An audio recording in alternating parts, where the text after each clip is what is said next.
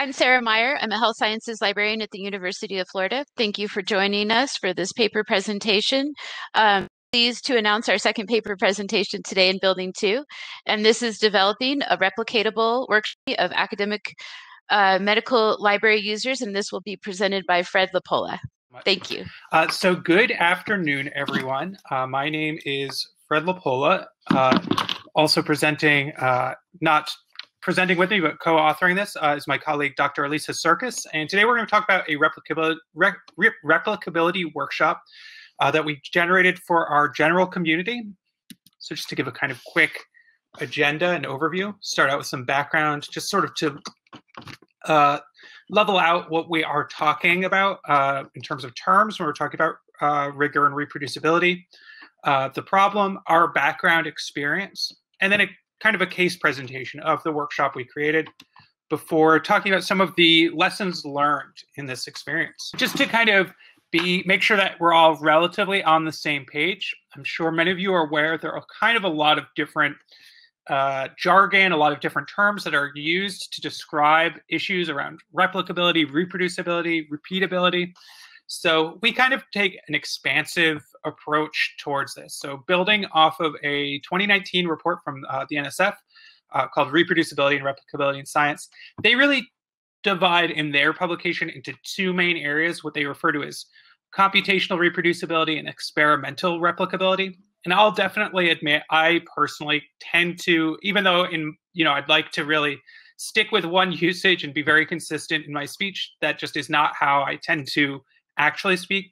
But within our usage, when we're talking about the kind of the computational side, we're really talking about having those workflows, having those tools available. So if we begin with the same set of data and we intend to perform the same analysis, we'll get either the same or consistent results depending on what, what types of analysis we're undertaking.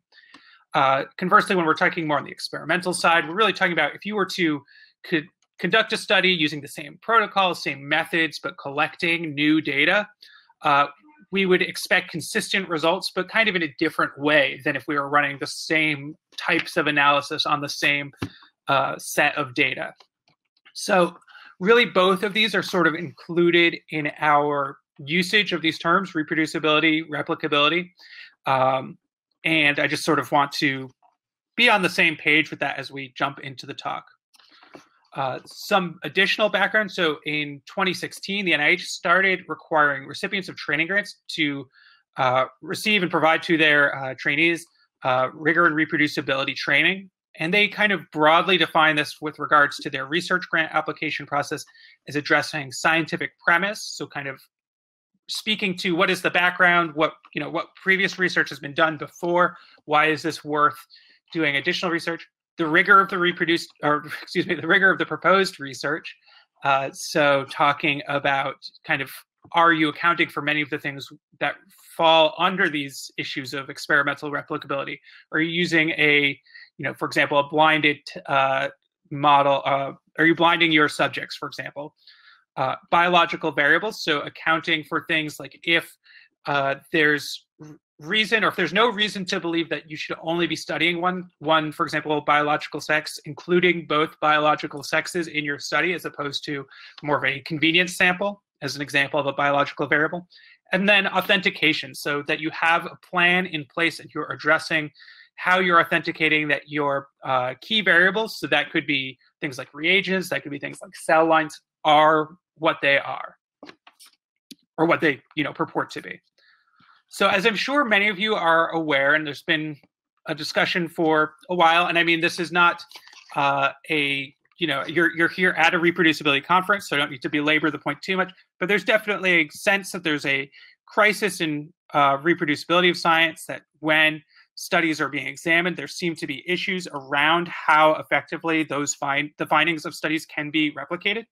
And this is also sort of bled over into kind of the public sphere. So, uh, newspapers, magazines that might not primarily be focused on uh, scientific disputes, really aware that this reproducibility crisis exists and may be an issue.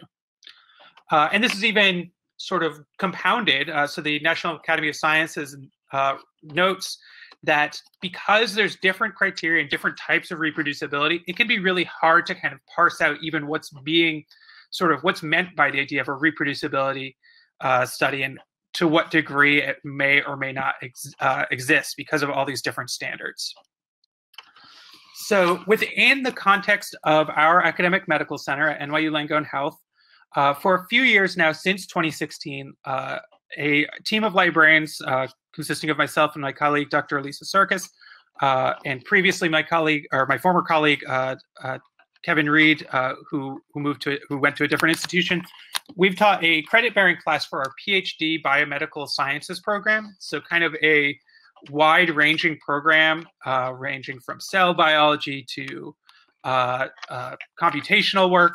Uh, so a lot of a lot of range in that program, and we've provided uh, training on rigor and reproducibility in that context. But we have not, in our institution, had or provided opportunities for the general faculty or staff. So both the library and the general institution at large has not offered this to the uh, whole community. So seeing that gap, we felt that it might make sense to provide that training. Uh, we felt that it would be appropriate for us. As I mentioned, since 2016, we've offered this class, and we really it, previously it mentioned and touched upon it was kind of a general skills class, and it featured training on rigor and reproducibility. But in the past two years, we really overhauled it to be very focused exclusively on rigor and reproducibility. So that's a one credit class uh, for about eight or so sessions and a, and a final exam. So we felt confident that we could teach this material and that we felt comfortable discussing topics relating to rigor and reproducibility and that it would be appropriate, especially given the library's kind of positioning as an educational hub within our institution.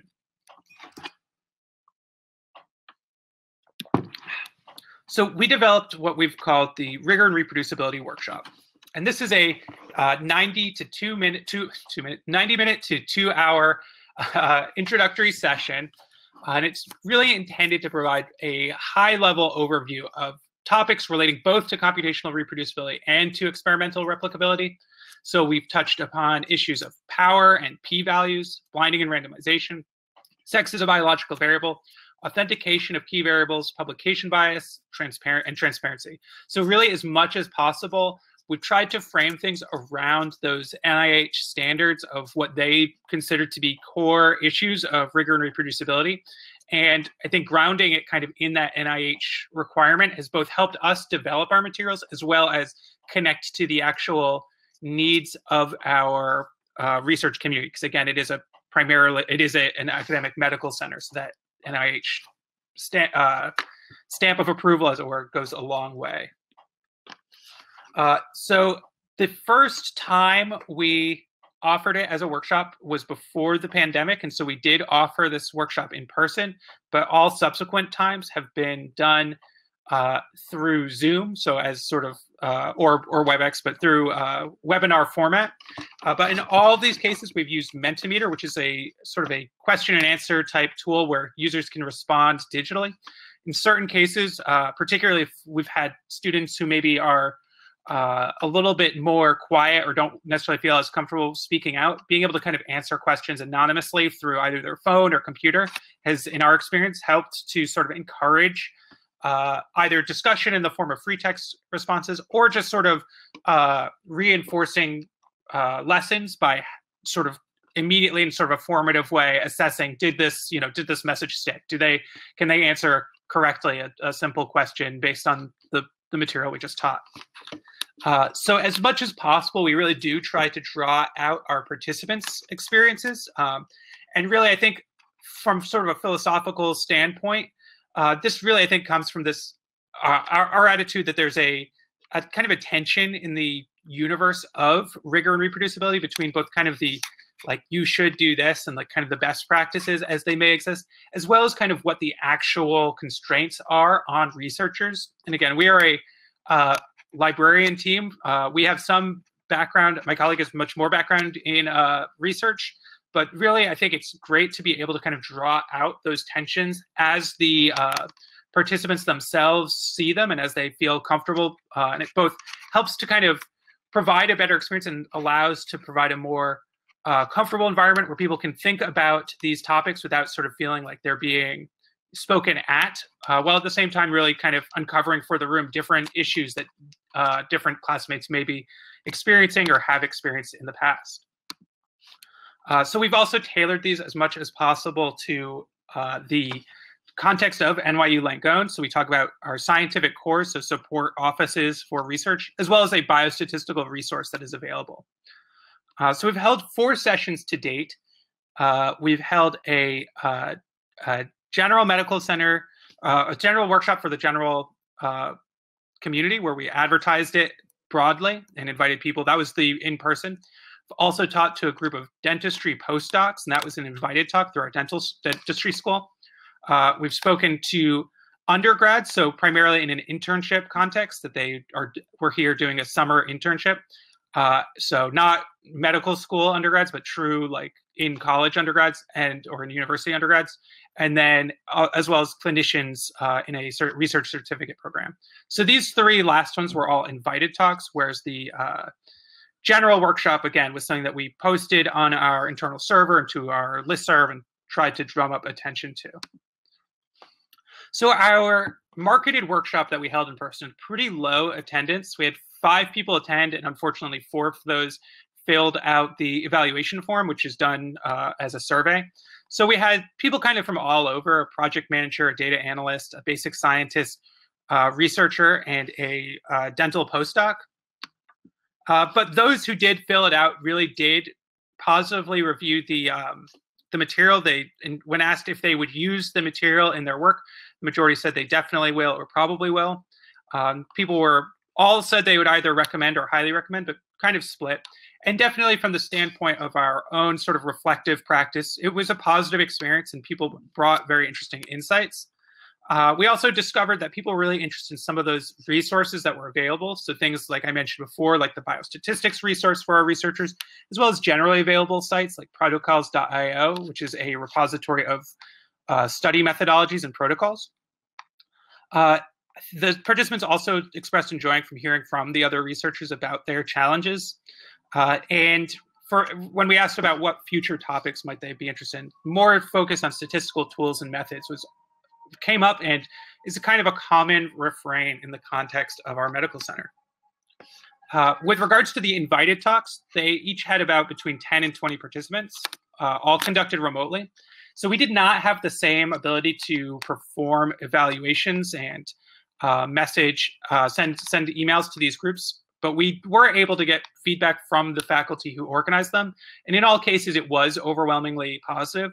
And when it came to our own uh, reflective practice, kind of as instructors, thinking about did these work, did these not work, we found that especially with the case of the student populations, where maybe exposure or comfort with some of these more statistical uh, topics is is less uh, you know less felt.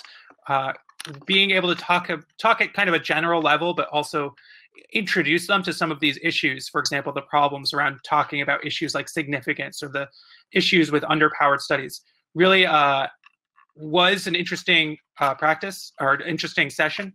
Um, but at the same time, especially with the undergrads, there was less exposure to working in a lab and less of an awareness of, you know, had they tried out conducting or reproducing a, a study before. So most in that group had not. Uh, also, because our background as instructors was primarily in working with the uh, the basic science PhD program, our materials had less of kind of the clinical focus, and that's really something that was kind of on us to sort of consider uh, building up in the future. So just to sort of pivot to some of the results and lessons learned definitely finding the appropriate setting for this workshop was an, was and is an ongoing process. Uh, we did have better success uh, when it was uh, when we've in the past hosted workshops for our community. We found that providing a kind of concrete skill. So, for example, a training in REDCap, a training in R uh, and R Studio for statistical programming, has tended to be more uh, popular and attract more interest than sort of general educational materials. So something like this, where it's more of a kind of ongoing discussion and you don't really walk away with a clear answer. Uh, we found that kind of a more invited workshop in, a, in an educational, formal educational setting worked a bit uh, better for our group. We also felt that the library served as a good hub in this context. So uh, we have a history of providing uh, education to our community. Uh, and so this allowed us, because of different connections that have sort of been formed through the years by providing education, it allowed us to pivot and sort of be in contact with those educational programs that were looking for some degree of training and some degree of uh, education around uh, rigor and reproducibility. Uh, also, I think that our background in terms of sort of translating kind of complex or topics that maybe are separate from the day-to-day milieu of um, of researchers uh, really helped us to sort of explain the concepts of re- rigor and reproducibility in, in, basic terms that I think really helped, especially in the uh, environment where a lot of people feel uncomfortable with uh, statistically oriented language. And as much as possible, we found that incorporating the active learning really helped to foster the discussion. So I mentioned that Mentimeter tool for providing question and answers both help to kind of draw out insights from people, from participants and students who may have been quieter, uh, while at the same time um, uh, helping us to also provide a, uh, a setting for confirming that the students understood the lessons that had been taught. So just to conclude, uh, we found that adapting this to a adapting our rigor and reproducibility education to the general community really uh, provided an opportunity to uh, work with and learn about our research community as well as inform them about some of the tools that they have available within our context to help them in their research lives. Um, it definitely was and remains a challenge to figure out where what is the best kind of setting for this as we saw when we tried to just market it generally uh, there were many fewer people and i think it is asking a lot to have people take time out of their day when maybe the kind of outcome is less clear. Uh, and so we found it to be very a little bit more appropriate in kind of a standalone uh, class within a, an educational context as opposed to something that's sort of you know pitched out as a come to the library and learn about this topic. Uh, so that said i want to thank you for your time Yes, thank you so much, Fred. That was fascinating. That was a great presentation. We really appreciated learning about that. And I think you made some wonderful points, great terms for us. Um, and so we'll be starting our next presentation here in just one minute. And thank you so much. We appreciate it. Thank you.